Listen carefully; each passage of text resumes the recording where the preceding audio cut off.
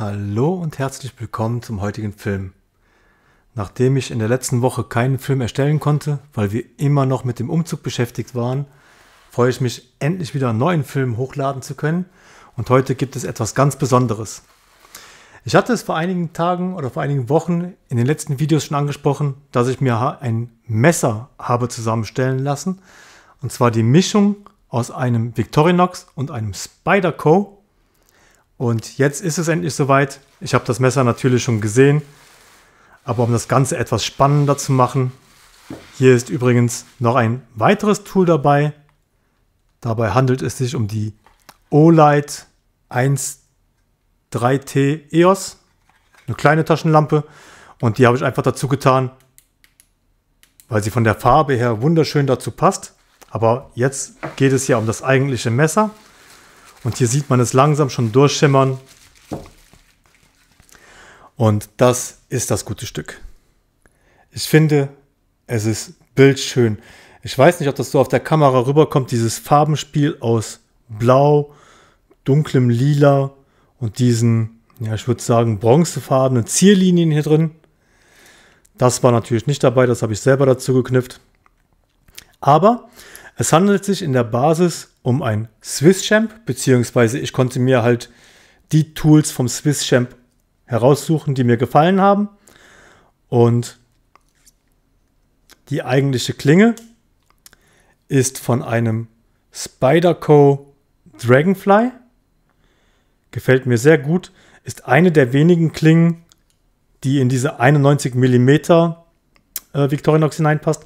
Ich lasse das mal draußen, damit man dann später mal die ganzen Tools sehen kann. Dazu habe ich mir eine Wellenschliffklinge einbauen lassen. Ich mache das hier mal weg, weil das lenkt eher ab.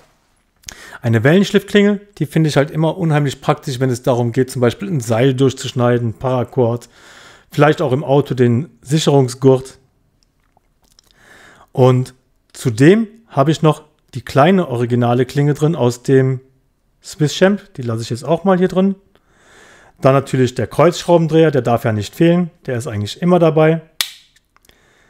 Ebenso wie Dosenöffner und auch Flaschenöffner. Auch das packe ich mal dazu. Und was ich ganz wichtig fand, war natürlich die Lupe. Es handelt sich hier um die, ja, meiner Meinung nach ältere Baureihen der Lupen. Kann auch sein, dass es tatsächlich die neuere ist. Aber bei meinem anderen Swiss Champ sieht die auf jeden Fall völlig anders aus. Aber es ist tatsächlich eine Original Victorinox. Ich war am Anfang etwas verwundert, weil ich gedacht hatte, oh, was hat er mir da eingebaut? Übrigens das Messer. Ähm, das ist ein Bekannter aus Facebook, den ich angeschrieben habe, ob er mir dieses Messer anfertigen kann. Er war von der Idee direkt begeistert. Hier übrigens noch die Pfeile dabei und natürlich auch noch die Schere. Das sind die Tools, die jetzt auf der Seite hier verbaut sind. Und natürlich, ich hätte es fast vergessen, die Victorinox Säge. Eines der wichtigsten Tools überhaupt bei meinen Victorinox Messern. Ja, und ihr seht schon, das Ganze ist mit orangen, orangenen Linern ausgelegt worden. Das konnte ich mir selber aussuchen. Ich hatte überlegt, ob ich mir blau dazu nehme, aber ich fand orange eigentlich äh, passend. Ich finde orange so im Outdoor-Bereich ohnehin sehr interessant und die Farbkombi aus diesem blau, lila hin zu orange ist einfach top. Und von den Werkzeugen her, wie gesagt, das war jetzt die Frontseite, auf der Rückseite ist auch noch ein bisschen wenig. Ähm, aber was ich halt cool fand, ich konnte mir genau die Werkzeuge zusammensuchen, die ich halt haben wollte.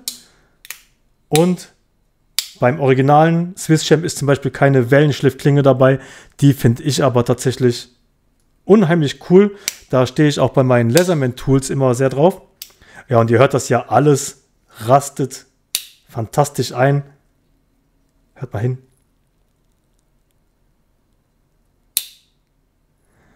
Wirklich, wirklich tolle Arbeit. Sehr, sehr sauber gearbeitet. Dann auf der Rückseite haben wir natürlich noch die Aale und diesen, ja, manche sagen dazu diesen Tragegurt für Taschen, andere sagen, es wäre ein äh, Reinigungstool für die Hufeisen von Pferden oder ursprünglich wäre es das mal gewesen. Ich habe immer noch keine Ahnung, wofür es ist, aber Das ist halt dabei als Lückenfüller, weil zwei Aalen wollte ich nicht drin haben. Und der obligatorische Korkenzieher ist natürlich sowieso dabei. Hier, das habe ich mir extra dazu gekauft. Das ist dieses Ameisen, das heißt Ameisentool. Auf jeden Fall ist es dieser, dieser Zunder zusammen mit diesem Mini-Feuerstein. Und das heißt im Englischen irgendwas mit End. Ich weiß nicht mehr genau, was es war. Endfire oder so. Und das passt halt genau auf diesen Korkenzieher. Ich habe mir das extra so mit Schrumpfschlauch abgedichtet, damit es nicht auseinanderbröselt, weil das ist leider eine Macke. Das ist ja im Endeffekt hier unten der Bereich. Das ist so ein Zundermaterial aus Wachs und das bröselt halt sehr leicht und durch diesen Schrumpfschlauch wird es halt ganz einfach etwas geschützt. Und was halt im Auslieferungszustand noch dabei war, ist halt ein blauer Zahnstocher sowie die blaue Pinzette. Und wie gesagt, das ist halt mein eigenes Einzelstück, ein Spider-Nox oder wie auch immer man es nennen mag, aber ich finde es einfach fantastisch. Es ist so ein ultra schönes Messer geworden, allein schon mit diesen Griffschalen. Ich finde die richtig bärig. Wie gesagt, schade, dass es auf der Kamera nicht so wirklich rüberkommt, wie das Ganze wirkt, aber insgesamt ein richtig, richtig tolles Messer. Und gleich hole ich mal ein Original Swiss Champ dazu, dass wir mal so ein bisschen vergleichen können, auch was zum Beispiel das Gewicht betrifft oder eben die Größe. Aber dazu dann gleich mehr. So, ich habe jetzt hier mal ein ganz normales Swiss Champ, dann das Cyber Tool L, was ja dem Swiss Champ sehr ähnlich ist und natürlich mein neues Spider-Nox. Und was natürlich direkt als erstes auffällt, ist, dass das Swiss Champ eine Zange enthält, die ich jetzt hier bei meinem eigenen Tool nicht dabei habe. Und beim Cyber Tool L ist die ebenfalls dabei. Ich habe mich bewusst gegen die Zange entschieden. Denn zum einen hätte ich hier noch einen Layer mehr gebraucht, das heißt, das Ganze wäre noch etwas breiter geworden. Und zum anderen, ähm, ich finde Victorinox super, wirklich. Aber mit der Zange kann ich tatsächlich kaum was anfangen. Ich habe in der Regel noch einen Leatherman dabei oder halt das äh, Victorinox Zangentool, wo halt eine richtig große und breite Zange dabei ist. Und wenn ich wirklich mal irgendwie einen Nagel rausziehen muss oder sowas, dann mache ich das eben mit diesen Tools. Hier die Zange, die habe ich so gut wie nie verwendet. Habe ich mir gedacht, ich kann darauf verzichten. Ansonsten ist das Swiss Champ genauso wie das Cyber Tool im Originalzustand, bis auf die Schalen, die sind ausgewechselt worden, aber der Rest ist halt alles original. Und hier halt mein Spider-Nox. Dann habe ich hier mal eine Waage. Ich hoffe, dass man die Zahlen dann gleich lesen kann. Also wir haben beim normalen Swiss Champ um die 150 Gramm. Dann beim Cyber Tool 160 Gramm. Das liegt vielleicht an den Bits, die dabei enthalten sind. Und bei dem Spider-Nox, obwohl jetzt das Lanyard dran ist, kommen wir auf 166 Gramm. Das kann zum einen daran liegen, weil hier Metallschalen dran verbaut sind. Das würde natürlich etwas Gewicht dazu bringen. Aber gleichzeitig habe ich ja, wie gesagt, auf diese Zange verzichtet. Dafür ist ja halt diese Wellenschliffklinge dabei und natürlich diese Spider-Nox-Klinge. Das gleicht sich also ziemlich aus, die 18 Gramm Unterschied im Gewicht zum Swiss Champ beziehungsweise 8 Gramm zum Cyber Tool. Das ist lächerlich gering. Dafür habe ich jetzt trotzdem ein ganz spezielles eigenes Tool, was es so halt kein zweites Mal gibt. Und ich finde es wirklich, wirklich perfekt. Es ist ein richtiger Handschmeichler geworden. Fasst sich sehr, sehr gut an. Die Tools, wie gesagt, gehen absolut perfekt. Die Spyderco-Klinge, ähm, vielleicht, falls es die Leute nicht wissen, also Spyderco produziert zum einen in Amerika und zum anderen in, ich glaube, Japan oder China. Die teuren, hochwertigen Klingen, die kommen natürlich aus Amerika, die günstigeren Klingen eben aus äh, Asien und die Spyderco Dragonfly, das ist eine dieser asiatischen Klingen. Wobei ich aber dazu sagen muss, die sind von der Legierung her, also von dem Stahl, der verwendet wurde, anders, aber generell sind die Schneiden deshalb nicht schlechter. Also die schneiden trotzdem sehr gut und das kann ich noch dazu sagen, egal welche Messer ich mal in China bestellt habe oder eben über Amazon oder eBay halt in China bestellt habe, die Messer waren in der Regel immer gut angeschliffen und durchaus brauchbar. Wie gesagt, vom Stahl her gibt es da einen Unterschied. Das heißt, es kann sein, dass die sich halt schneller verbiegen, schneller brechen, schneller stumpf werden, dafür dann aber vielleicht wieder auch leichter angeschliffen werden können. Aber generell ist das ja trotzdem hier, ja, ich sag mal, das ist jetzt eher so ein Sammlerstück. Das Swiss Champ und das Cyber Tool, das habe ich des Öfteren mal hergenommen. In der Regel aber auch, um irgendwelche Sachen zu schneiden. Man sieht es bei dem, wie oft das gebraucht worden ist. Das müsste dringend wieder sauber gemacht werden und auch vor allen Dingen mal wieder geölt werden. Aber das Spider-Nox ist ein Sammlerstück. Was ich auch noch dazu sagen kann, ich habe das Tool in Amerika anfertigen lassen. Wie gesagt, bei einem Kollegen, den ich von äh, Facebook aus kenne. Das Werkstück wurde nach Bezahlung angefertigt, dann versendet. Der Versand hat drei Wochen gedauert. Äh, ich habe es vorher beim Zoll angemeldet, das heißt, ich musste dafür Steuern zahlen, logischerweise, weil der Wert über 150 Euro liegt.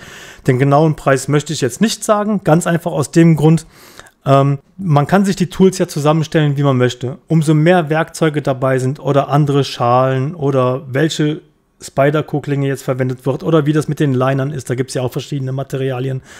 Dementsprechend variiert der Preis immer wieder. Ich hatte Angebote in Deutschland, die gingen über 500 Euro. Ich sag mal, realistisch unter 300 Euro ist da wahrscheinlich nicht so viel möglich. Es sei denn, ihr habt ein ganz schmales Tool mit nur zwei, drei Layern. Die gibt es dann vielleicht auch schon für 150 äh, Dollar beziehungsweise 150 Euro, je nachdem, wie der Umrechnungskurs gerade ist. Aber man muss halt für ein spezielles Tool etwas tiefer in die Tasche greifen und alleine das Spyderco Dragonfly, das kostet als komplettes Messer und anders kommt man an die Klinge ja nicht ran. Man kauft ein komplettes Messer, zerlegt es, dann hat man die Klinge und das kostet bereits um die 120 Euro in Deutschland. Also von daher ist da jetzt nicht so viel möglich mit Preisspielereien. Ansonsten, wie gesagt, das Werkstück ist wundervoll angefertigt worden. Man sieht keinerlei Nähte irgendwo, die Spaltmaße sind top, die Liner sind super geschnitten, keine Gräte, keine Kanten, nichts. Jedes Werkzeug für sich federt hervorragend. Nichts, was da irgendwie klemmen würde oder so. Wirklich, wirklich fantastisch und eines meiner neuen Lieblingsstücke. Vorhin hatte ich noch kurz angesprochen, die Olight 1.3T EOS. Wie gesagt, ich finde, die passt von der Farbe her sehr, sehr schön dazu. Ist halt nicht optimal 1 zu 1 der Ton, aber es ist tatsächlich gar nicht so leicht, eine ordentliche blaue Taschenlampe zu finden. Olight, da habe ich ja jetzt schon, ich glaube, meine dritte, die ich jetzt hier äh, verwende. Und mit der bin ich übrigens sehr, sehr zufrieden. Die ist für abends sehr geil, hat ein sehr schwaches Licht auf Stufe 1, hat aber zudem auch Stufe 2, wo es dann schon wesentlich heller ist. Das reicht also allemal, um draußen in der Dunkelheit den Weg zum Auto zu finden. Die brauche ich, glaube ich, nicht weiter genauer vorzustellen. Auch die ist, soweit ich weiß, wasserdicht. Schönes Tool, passt wunderbar zu meinem neuen Spider-Nox. Und so viel zum heutigen Video. Ja, das war jetzt das erste Video aus meinem neuen Aufnahmestudio, aus meinem neuen Büro. Hier der Bereich, der wird in nächster Zeit noch äh, anders gestaltet werden. Ich habe mir dazu so eine coole Schneidmatte bestellt, die ich hier hinlegen kann als Untergrund, damit das hier an den Stellen nicht so reflektiert durch das Licht. Ich hoffe, dass jetzt wieder in regelmäßigen Abständen Videos kommen werden. Falls euch der Film heute gefallen hat, lasst mir gerne ein Like und ein Abo da. Schreibt mir auch gerne einen Kommentar, ob ihr selber ein Spider-Nox besitzt. Falls ja, könnt ihr mir vielleicht dazu schreiben, welche Klinge bei euch verbaut wurde, beziehungsweise welche Tools bei euch enthalten sind, würde mich einfach mal interessieren. Ich denke, dass das nicht mein letztes Spider-Nox bleiben wird, aber für den Anfang habe ich schon mal einen wirklich guten Start hingelegt, würde ich sagen. In dem Sinn, vielen Dank fürs Zuschauen. Bis zum nächsten Mal. Ciao.